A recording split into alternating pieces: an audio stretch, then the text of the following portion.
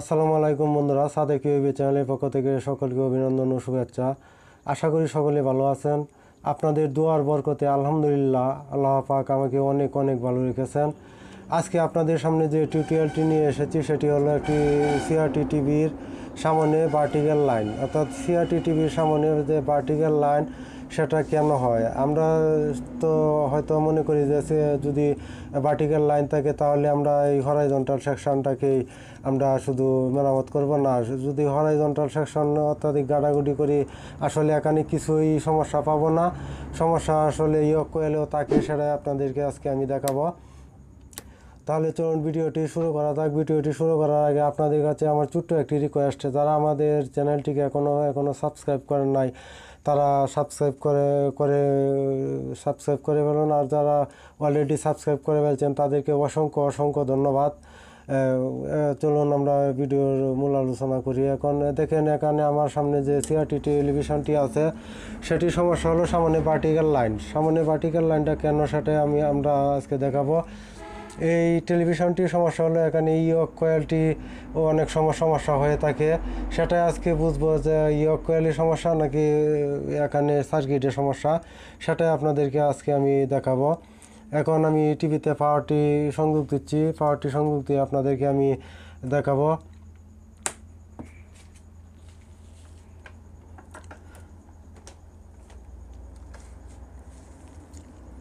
আমি এখানে যে দেখ- দেখুন, এখানে যে ভার্টিক্যাল সেকশন বা হরাইজন্টাল সেকশনটি আছে, আমি দুশো পঞ্চাশ ভোল্ট রেঞ্জে মিটারটি সংযোগ দেব। মিটারটি দুশো পঞ্চাশ ভোল্ট রেঞ্জে মিটারের কাটাটি সংযোগ দেবো। দেওয়ার পরে আমি এখানে দেখব, এখানে যে আউটপুট ভোল্টেজটা সেগুলি ঠিক আছে কিনা? এখানে দেখেন ভার্টিক্যাল ভোল্টেজ সেটা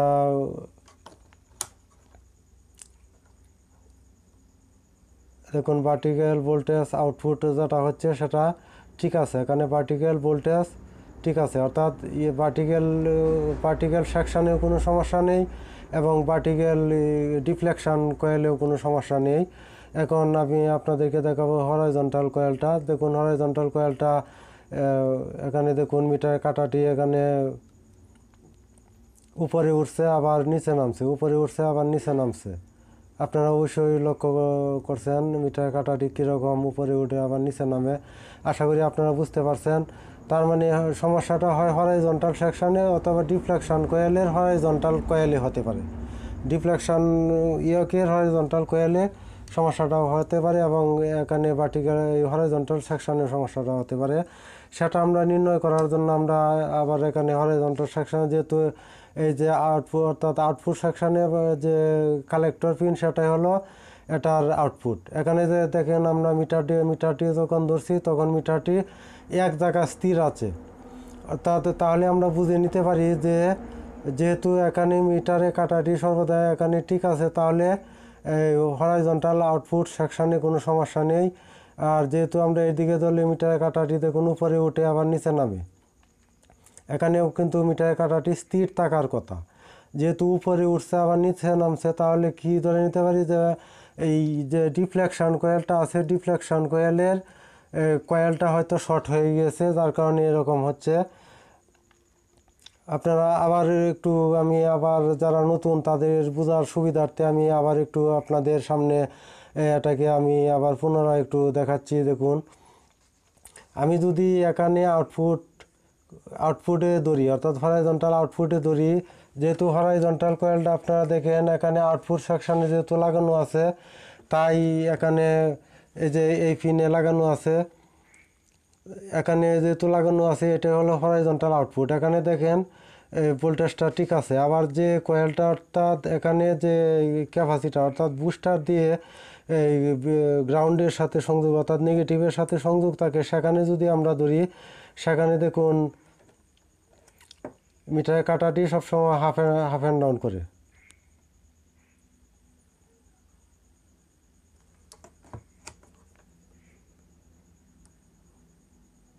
দেখুন মিটারের কাটাটি সবসময় উপরে উঠছে, আবার নিচে নামছে। তার কারণে আমরা ধরে নিলাম যে হয় ডিফ্লেকশন কয়েলটি খারাপ, আমরা সিদ্ধান্ত নিতেই পারি। এখন আমরা ডিফ্লেকশন কয়েলটি পরিবর্তন করব, সেটা কীভাবে পরিবর্তন করব, সেটাই আজকে আমি আপনাদেরকে দেখাবো। দেখুন, আমি আরেকটি রিফ্লেকশন কয়েল আমার কাছে পুরাতন আছে, সেটি আমি নিয়ে নিলাম। দেখুন, ডিফ্লেকশন কয়েলটি এরকম একটি ডিফ্লেকশন কয়েল। ডিফ্লেকশন কয়েল সাধারণত দু তিন ধরনের হয়ে। থাকে একটি হলো মোটা গান এবং অপরটি হলো বড় গান। আবার মোটা গান, বড় গানের ক্ষেত্রেও অনেক টিভি দেখবেন, ফ্ল্যাট। যে টিভিগুলি ফ্ল্যাট, সেগুলি সাধারণত ফ্ল্যাট টিভির ডিফ্লেকশন এই সংযোগ দিতে হয়। এখানে যেহেতু এটা ফ্ল্যাট না টিভিটা, আমি এই ধরনের একটি ছোটো গানের ইয়ক নিয়েছি। সেটা কীভাবে সেট করতে হয়, আপনারা একটু লক্ষ্য করে দেখুন।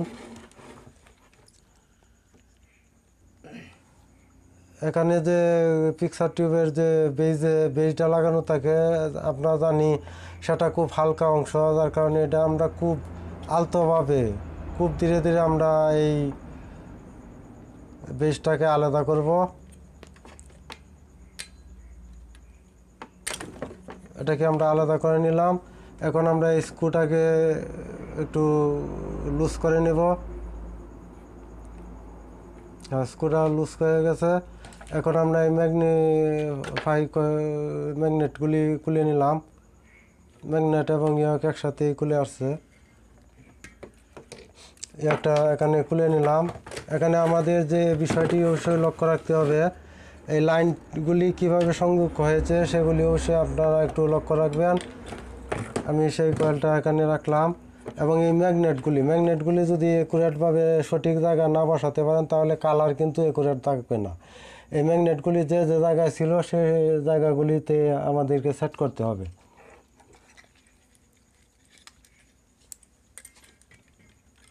এখন আমি আর একটি কয়েল এখানে ঢুকিয়ে নিলাম।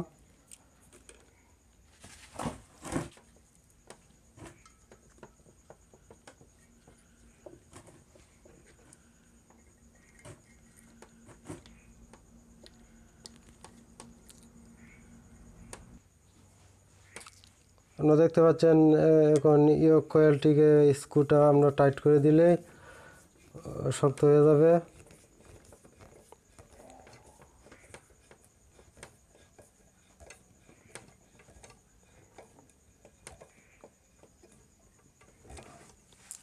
আমার সব পিকচার টিউব বিষয়ে একটি ভিডিও দেওয়া আছে, আপনারা এই কোন অংশের কি নাম সেখান থেকে দেখে নেবেন। এই যে দুটি ম্যাগনেট দেখতে পাচ্ছেন, এগুলিকে অবশ্যই আমাদেরকে সঠিক জায়গায় বসাতে হবে। যদি সঠিক জায়গায় সঠিকভাবে না বসায়, তাহলে কিন্তু কালার ঠিক থাকবে না। আশা করি আপনারা নিশ্চয়ই বুঝতে পারছেন। যারা নতুন, তারা অবশ্যই একটু মনোযোগ দিয়ে দেয় দেখুন।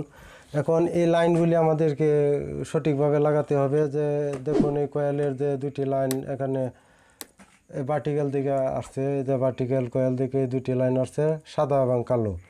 এগুলি এখানে সার্কিটের সাথে সরাসরি সেমভাবে মিলে গেছে। এখন আমরা এখানে দেখেছিলাম যে এক বেজেই সবগুলি লাইন। এখানে যেহেতু এক বেজে নাই, কোনো সমস্যা নেই। আপনারা এটাকে এই যে দেখতে পাচ্ছেন, এখানে একটি কানেক্টর আছে। এখানে যে মাঝের যে ফিনটা, সেটাতে লাগিয়ে দেবেন। লাগিয়ে দিলেই টিভিটি আবার আগের মতোই হবে। বেজটিও লাগিয়ে নিলাম।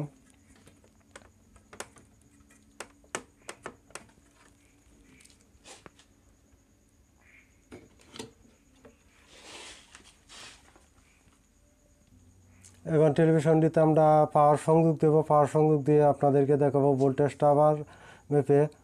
দেখুন, তখন আমরা এখানে দেখেছিলাম যে মিটার কাটাটা যদি আমরা এই এখানে ধরতাম, তাহলে মিটার কাটাটি উপরে উঠতো, আবার নিচে নামতো। বিভিন্ন ভোল্টেজ শো করতো। এখন দেখুন কাটাটি স্থির আছে। এখানে যদি ধরি, দেখুন, এদিকে ভোল্টেজ এখানে কম আছে। অর্থাৎ এখানে কম থাকবে, এখানে বেশি থাকবে। তখন কিন্তু দেখা গেছিল, এখানে বেশি, এখানে কম, আবার তাও স্থির থাকতো না ভোল্টেজটা। আমি আবার আপনাদের সাথে ক্লিয়ার করি। অর্থাৎ ইয়ক কয়েলটার যে সমস্যা, অর্থাৎ ডিফ্লেকশন, ইয়ক যে সমস্যা, সেটা আমরা কীভাবে বুঝতে পারলাম? ডিফ্লেকশন, ইয়কের সমস্যাটা আমরা এভাবে বুঝতে পারলাম। যখন আমরা এখানে ভোল্টেজটি মাপ দিয়েছিলাম, তখন আমার ভিডিওটা আগে লক্ষ্য করছেন অবশ্যই। এখানে যখন আমরা ধরছি, মিটার কাটাটি উপরে উঠতো এবং নিচে নামতো, উপরে উঠতো এবং নিচে নামতো, এখানে ধরলে ভোল্টেজ কম দেখাতো।